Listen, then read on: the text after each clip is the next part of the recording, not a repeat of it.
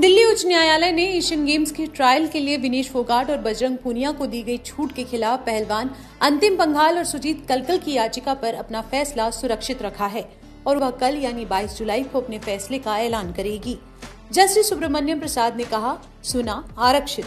कल वीसी के माध्यम से फैसला सुनाया जाएगा। दोनों पहलवानों ने भारतीय ओलंपिक संघ के एडहॉक पैनल के उस फैसले को चुनौती दी है, जिसमें इस महीने की शुरुआत में पुरुषों की फ्री स्टाइल पैंसठ किलोग्राम और महिलाओं के तिरपन किलोग्राम कैटेगरी के ट्रायल में फोगट और पुनिया को छूट दी गई थी।